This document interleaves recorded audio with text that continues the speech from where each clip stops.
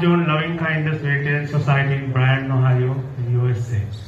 And you are very, very good friends. You are very good Dharma friends. Our at Kotte Rajamaha Vihare, my chief monk, Therol, and our temple.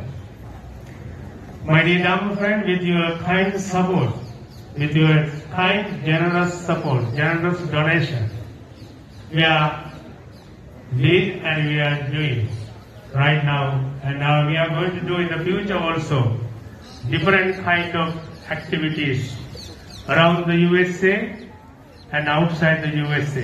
This is a very special example outside the USA.